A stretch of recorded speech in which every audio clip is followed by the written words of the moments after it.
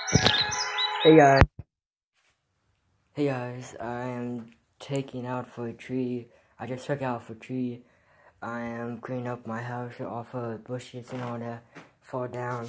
My hands are totally red. Tried to kill that tree all the way out there.